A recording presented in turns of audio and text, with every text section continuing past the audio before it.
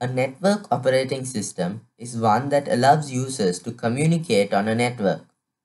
As opposed to a standalone operating system, a network OS allows usernames and passwords to allow many different users to log into the same laptop, separating user accounts and making sure that privacy is maintained, and providing access to shared resources like printers and storage. A network is formed when two or more computers are connected to each other. In the modern world, there are four major types of networks. The local area network. This connects devices that are in a small area. A LAN can be found in schools or office buildings. A personal area network. Here, a group of connected devices near an individual user, like a phone or laptop, forms a network.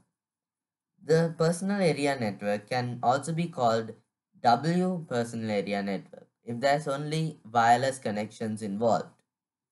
Wide area network connects devices over a large area.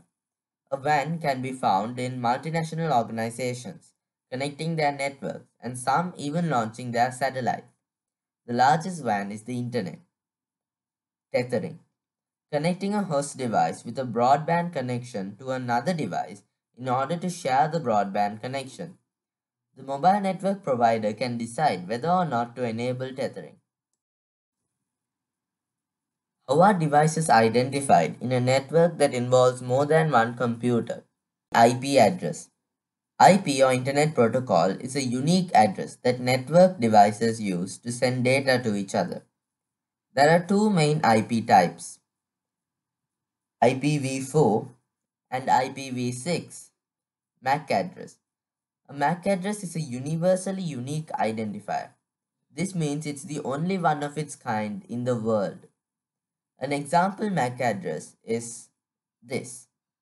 The first half identifies the NIC manufacturer and the remaining is unique to the device. The device name. A, a descriptive name for users to identify a computer in a network.